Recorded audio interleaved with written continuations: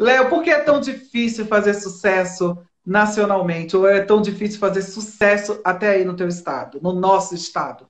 Rapaz, é muito complicado, porque eu acho que o meio, o meio artístico, no geral, ele é uma disputa muito grande. São poucas as pessoas que lhe dão a mão e lhe ajudam. Né? As pessoas, eu acho que se preocupam mais em querer passar você do que crescer todo mundo junto. E por isso que acaba que ninguém cresce. É, é muito difícil. Tanto que quando, quando é, a pessoa estoura, o pessoal já fala logo, ó, tá mudando de comportamento, tá ficando metido, mas não é.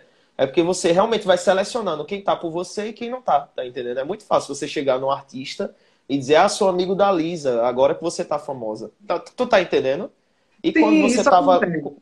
É, quando você tava lá atrás, no começo, que você chamava para assistir um show, a pessoa não ia. Chamava para ir para um barzinho, a pessoa não ia. Então é muito fácil você chegar agora com tudo pronto e querer pegar o bonde andando, né? Então é, eu é acho verdade. que é isso. É muito, é muito comum isso acontecer mesmo. Isso é. é. isso é natural. Mas a gente termina criando, às vezes, um escudo, assim, sabe? A gente isso. cria um escudo ah. para justamente não, não chegar, essas pessoas não chegarem é, para a gente assim